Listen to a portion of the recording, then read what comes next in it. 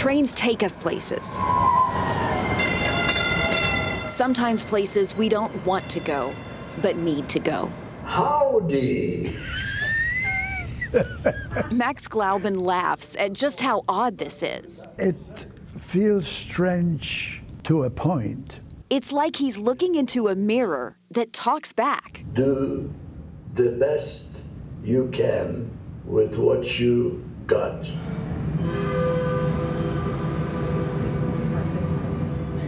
Listen to the train whistle. Last year, Max spent more than 40 hours telling stories in a 360 degree studio with special cameras on him. They'll turn him into an interactive hologram. Unheim, unertatten, war kein Mame gesäugen. This is Max's first look at a simplified version of that hologram.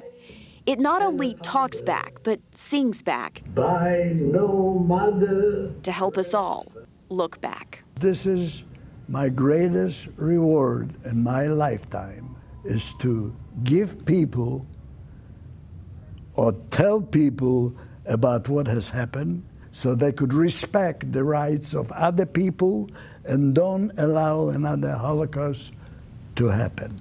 Max survived the Holocaust. Six million Jews were murdered, including his family. Just across the train tracks from the spot where we watched that sample video, What do you think? I think it's unbelievable. Max got his first look at the $78 million Holocaust and Human Rights Museum he worked to bring to Dallas. This is the shell of the Dimensions in Testimony Theater. When construction is complete, We'll have microphones that come down this, from the ceiling, so any place you're seated, you can ask a question of Max. Max's hologram will come to life in this room. We'll be ready, and this will be one of only two theaters like this in the world. One of the most important experiences our visitors can have is an interaction with a survivor, and sadly, we'll lose that opportunity in a short time.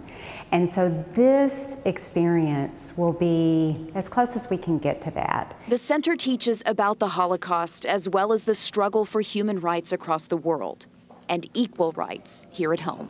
There's still work to be done. Yes. Right. Yes. It's a process. There's a World War II era boxcar. This is how Jews were moved to concentration camps and killing grounds.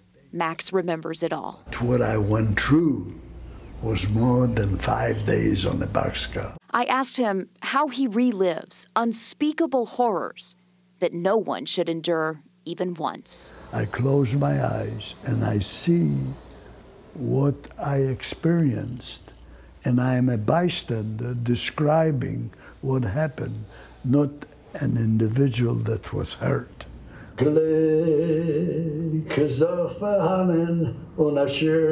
Max is 91. I'll sing along with him. He believes he was destined to live a long life so he can transport us. Through his past, we must build a better future. In Dallas, I'm Teresa Woodard.